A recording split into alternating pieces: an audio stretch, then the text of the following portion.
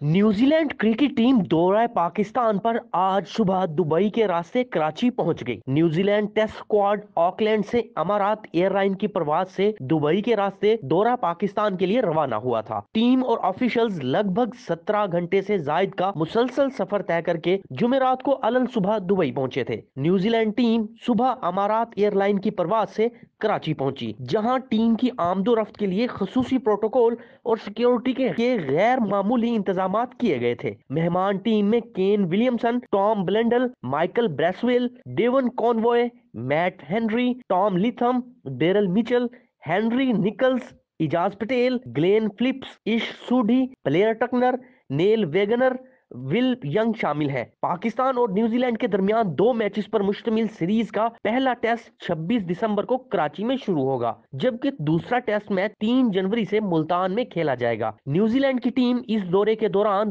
10 से 14 जनवरी को कराची में तीन एक रोजा मैचेस भी खेलेगी। न्यूजीलैंड के खिलाफ टेस्ट के लिए 16 रुकनी पाकिस्तानी स्क्वाड का ऐलान भी कर दिया गया है। स्क्वाड में कप्तान बाबर आज़म, अब्दुल्ला शफीक, अबरार अहमद, हसन अली, इमामुल हक, कामरान गुलाम, मोहम्मद नवाज़ और मोहम्मद रिजवान शामिल हैं। मोहम्मद वसीम जूनियर, नसीम शाह, नुमान अली, सरफराज अहमद, सलमान अली आगा सऊद शकील, शान मसूद और जाहिद महमूद भी स्क्वाड का हिस्सा होंगे। तो दोस्तों, अब तक की जो खबर है, वो ये है कि न्यूजीलैंड क्रिकेट टीम दौरा पाकिस्तान के लिए दुबई से कराची पहुँच गई है। टीम और ऑफिशियल्स ने लगभग 17 घंटे से जायद का मुसलसल सफ़र तय किया और ऑकलैंड से जो टीम रवाना हुई थी कल शाम, वो आज सुबह दुबई पहुँची और उसके बाद वो सुबह कराची पहुँची, जहाँ सिक्योरिटी के खास इंतज़ाम किए गए थे और टीम को एयरपोर्ट से सीधा होटल ले जाया गया।